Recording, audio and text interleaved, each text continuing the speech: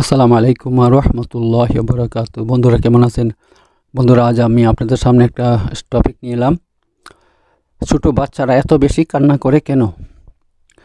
এবং বাচ্চাদের উপর মা বাপের কর্মের কোনো প্রভাব পড়ে কি না এই সম্পর্কে আমি কিছু কথা বলব। হ্যাঁ বন্ধুরা, যখন বাচ্চা জন্ম হয় অথবা যখন বাচ্চা পেটে থাকে তখন মা বাপ, মায়া, বিশেষ করে মায়ের মায়ের কাজের অনেক কিছু মানে প্রতিফলন তার সন্তানের উপর দেখা যায়। যেরকমভাবে ওই অবস্থায় যখন বাচ্চা পেটে থাকে, তখন যদি মা যদি একটু ভালো কাজ করে, তাহলে বাচ্চাটা উপর তার প্রভাব পড়ে। যেরকমভাবে যে সমস্ত মায়েরা পেটে বাচ্চা থাকার সময় যদি কোরআন পড়ে সব সময় কোরআন পাঠ করে এবং নামাজ পড়ে অজু অবস্থায় থাকে, তাহলে ওই ছেলেটার উপর তার প্রভাব ডাইরেক্ট পড়ে। অর্থাৎ ওই ছেলেটা তখন অবশ্যই, ওই ছেলে হোক, মেয়ে হোক, তার সে অবশ্যই দিনদার পহেজগার হয় এবং ভালো হয় মেজাজ নরম হয়, ভদ্র হয় এবং মানব, মানুষের উপকার করবে, করে এমন স্বভাব তৈরি হয় তার মধ্যে। ঠিক আছে? অর্থাৎ সমস্ত ভালো গুণ তার মধ্যে তৈরি হয়। আমাদের অতীতের যে যে সমস্ত মানে আলিম বা দিনদার ফরজগার লোক ছিল তাদের তাদের মধ্যে লক্ষ্য করলে তা দেখতে পারবেন।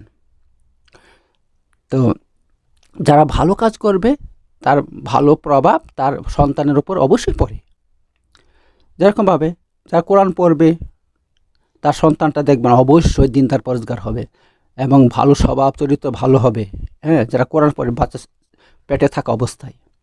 আর যারা বাচ্চা পেটে থাকা অবস্থায় মোবাইল দেখবে, মোবাইলের মধ্যে বিভিন্ন ভিডিও দেখবে, বিভিন্ন রকমের জিনিস দেখবে তার কুপ্রভাব ছেলের উপর পড়বে, সন্তানের উপর পড়বে। ওই বাচ্চাটা, ও এরকম মোবাইল খালি মোবাইল ঘাটবে, বেদিন হবে হ্যাঁ? মানে কথাবার্তা, মা বাপের কথাবার্তা শুনতে চাইবে না, বদমাশি করবে, এরকম হবে। এমন এই জন্য বাচ্চা পেটে থাকলে অবশ্যই আমাদেরকে, মায়েদেরকে বলব, বোনদেরকে বলব যে আপনি বেশি বেশি করে কোরআন পাঠ করুন।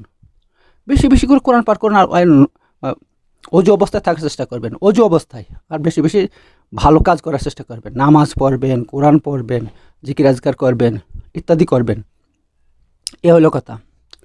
আর দ্বিতীয় কথা হচ্ছে, বাচ্চা যখন, অনেক বাচ্চা দেখতে পাওয়া যায় সব সময় কান্না করে। সব সময় কান্না করে, জ্ঞানের জ্ঞানের করে হ্যাঁ প্যান প্যান করে চুপ হয় না। সব, এ- অবস্থা কিসের জন্য?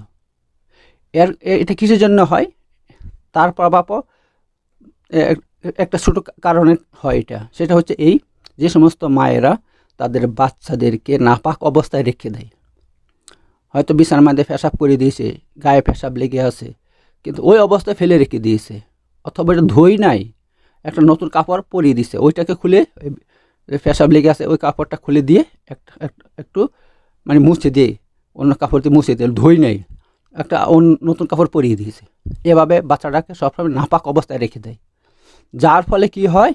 তার উপরে ওই জিনগুলো জিন, আল্লাহ রবি সাল্লাম তো বলছেন যে, অনেক জিন আছে, তারা বাচ্চাদেরকে প্যারেশান করে, বাচ্চাদেরকে প্যারেশান করে, বাচ্চাদের উপরে মানে এরকম ইয়া হয় আর কি, দৃষ্টি দেয়। যার ফলে নজর লেগে যায়, আর নজর লাগলেই তখন সে কান্না করবেই। কান্না মানে নজর লাগলে এমন অবস্থা তার শরীরের মধ্যে মানে ইয়া পাচ্ছে না, আরাম পাচ্ছে না, তখন সে কান্না করে। শরীর কোনো আরাম পাওয়া যায় না। নজর লেগে গেলে কখনো আরাম পাওয়া যায় না। বিভিন্ন রকমের পরিস্থিতি তৈরি হয়। সেটা আমি নজর লাগার যে ইয়াগুলো আছে, লক্ষণ আছে, সেইগুলো আমি যে একটা ভিডিও তৈরি করছি সেখানে দেখে নিন। অথবা এই নিয়ে আমি পরবর্তীতে ভিডিও তৈরি করব। তো এই জন্য বাচ্চাগুলো কান দেয় হ্যাঁ নজর লাগলে তখন তার শরীরের মধ্যে এক রকমের একটা মানে অস্বস্তি ভাব তৈরি হয়। তারপর আপনার যন্ত্রণা মানে ব্যথা ট্যাথা তৈরি হয়। এখানে শরীরের শরীরে এর জন্য বাচ্চাগুলো কান্নাকাটি করে। তো এই জন্য আমাদের কী করতে হবে? বাচ্চারা যখনই অপবিত্র হয়ে যাবে, পেশাব করে অথবা বিছানাতে বিছা- পেশাব করবে পায়খানা করবে, নিজের কাপড়ের মধ্যে, শরীরের মধ্যে, তাহলে ওই জায়গাটাকে আমাদেরকে ধুয়ে দিতে হবে সঙ্গে সঙ্গে। অর্থাৎ নাভির থেকে নিয়ে পা পর্যন্ত আমাদেরকে ধুয়ে দিতে হবে। ধুয়ে পবিত্র করে তাকে আবার পবিত্র কাপড় পরাইতে হবে, যে কাপড়ের পেশাব পায়খানা লেগে নাই। ঠিক আছে? হয়তো শুকনো কাপড় পরিয়েছি, কিন্তু তাতে তখন পেশাব করে দিয়েছিল, তা করলে হবে না। ওই পেশাব করে দিলেই তখন আমাদের ওই কাপড়টা ধুইতে হবে। ধুয়ে পবিত্র করে রেখে দিতে হবে, তো পবিত্র কাপড় পরাইতে হবে। আপনি এটা করবেন, ঠিক আছে? এই জন্য এই জন্য এটা হয়। এই জন্য হয়। আর দ্বিতীয়ত হচ্ছে এমন একটা পরিবেশ, এমন ঘরের মধ্যে সবসময় টিভি চলছে, গান চলছে, তারপরে আপনার ইত্যাদি চলছে, তার প্রভাবও পড়ে কিন্তু বাচ্চার উপরে। তার প্রভাবে বাচ্চারা কান্নাকাটি করে। আপনি আপনার ভিডিও দেখবেন ইউটিউবের ইয়ের মধ্যে ফেসবুকের মধ্যে একটা বাচ্চাকে, একটা বাচ্চা কা- কান্না করছে। যখন তার সামনে আপনি কোরআন পাঠ করাচ্ছে মোবাইলের মাধ্যমে তখন বাচ্চাটা চুপ হয়ে যাচ্ছে কিন্তু, সঙ্গে সঙ্গে। যখন বন্ধ করে দিচ্ছে মোবাইল পাঠ, তখন বাচ্চাটা আবার কান্না শুরু করে দিচ্ছে। তো এর জন্য ভাই, আমাদের ঘরের মধ্যে খারাপ পরিবেশ তৈরি করলে হবে না। নাচ, গান টিভি ইত্যাদি, এই এই সমস্ত যদি করেন, তাহলে তারপর আবার বাচ্চার উপর পড়বে। সে বাচ্চাটা শুধু কান্না করবে না, সে মানে সে বদমাইশ হবে। সে মা বাপকে মানবে না, কি, কোনো কথা মানবে না, ঘরের কোনো উন্নতি হচ্ছে কি হচ্ছে না, তা দেখবে না। সে সব সময় সব ধ্বংসের দিকে যাবে। তা এই জন্য অবশ্যই মা বাপের সৎকর্মের ফ, আপনার প্রভাব ছেলেদের উপর পড়ে, সন্তানের উপর পড়ে। ঠিক আছে? তো আর হ্যাঁ অনেক ছেলে ফেলে এরকম বদমাইশ, সব সময় কান্না করছে, সব সময় বদমাইশি করছে। আমার সামনে আমি একটা রুগী দেখতে গেছিলাম, আমার পাশে গ্রামে গেছিলাম রুগী।